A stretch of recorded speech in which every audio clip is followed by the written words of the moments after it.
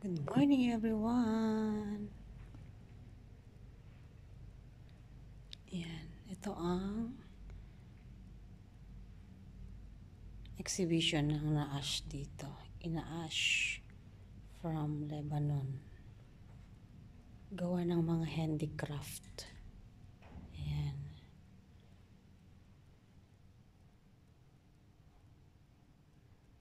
Diba ang gaganda? Kaso ang price, wow. Napakaganda rin ang price. Hindi ko afford. Hanggang ano na lang, tingin-tingin na lang tayo.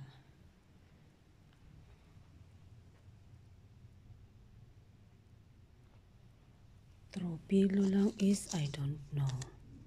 Tingnan mo, ang tropilo nila is 170. Yan. Diba?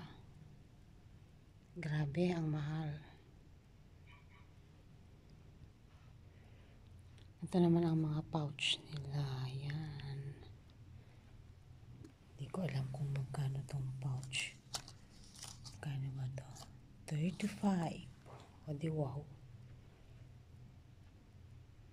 5,000 na sa Pilipinas. Mga tray.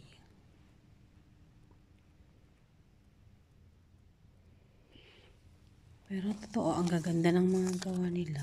Ito naman, ang price is wala siyang price. Oh. Pero ang ganda ng mga design. Yan. Diba?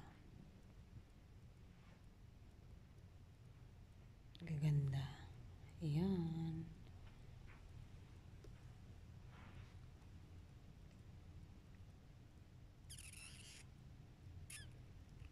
Super ganda.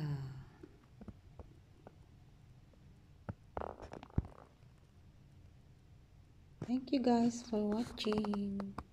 God bless everyone.